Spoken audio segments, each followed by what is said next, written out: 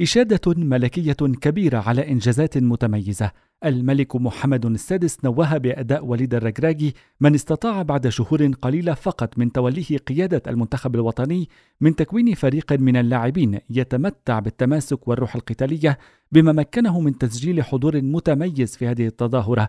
وتشريف الشعب المغربي والجمهور العالمي من خلال قيمه الرياضية الرفيعة وموهبته النموذجية.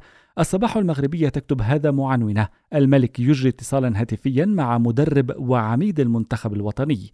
وصورة تختصر اللقاء وتعليق مبابي وحكيمي متعانقان بعد المباراة وتهنئة رئاسية فرنسية لأسود الأطلس صنعتم التاريخ كتب ماكرون وحضرت تغريدته مع الصورة في الصحافة نهاية حلم على غلاف المساء المغربية. الأسود يخرجون من الباب الكبير للمونديال. المنتخب الوطني المغربي بصم على إنجاز تاريخي إفريقي وعربي خلال نهائيات كأس العالم تكتب هسبريس الصورة التي منحها لاعبو المنتخب المغربي أمام العالم تساوي التتويج بكأس العالم. الرجراجي على صفحات الشرق الأوسط فخورا بإنجاز تاريخي.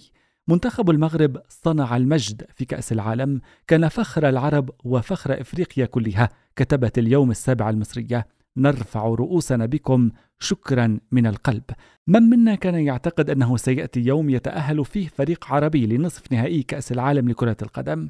لعل الحلم كان بعيد المنال إلى أن جعله المنتخب المغربي القادم من الظل حقيقة نعيشها ونستمتع بلحظاتها ونشوة انتصاراتها من المحيط إلى الخليج تقول الأهرام المصرية.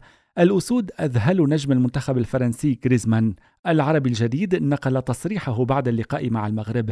إنهم رائعون على جميع المستويات سواء من الناحية التكتيكية في كيفية وقوفهم على أرض الملعب كذلك دفاعيا وهجوميا. لقد أثبتوا أنهم لا يتقنون الدفاع فقط بل لديهم إمكانيات هجومية رائعة. لقد أذهلوني حقا. قال فرنسا تحرم المغرب من مواصلة المعجزة عنونة القدس العربي. مبابي مرتديا قميص المنتخب المغربي معانقا غريزمان على غلاف لو باريزيان. ما زلنا هناك مجددا في النهائي. بعد أربع سنوات على تتويجه بطلا للعالم المنتخب الفرنسي مجددا في النهائي ويلاقي أرجنتين ميسي تكتب لو باريزيان. الأزرق وضع حدا لمغامرة الأسود في لو موند. العنوان عينه في الجارديان البريطانية. المغرب قدم كل شيء. كان يحتاج للقليل بعد لهزيمة فرنسا بحسب نيويورك تايمز. المغرب يذهب إلى المركز الثالث تكتب ماركة مركز سيكون تاريخيا في مواجهة كرواتيا.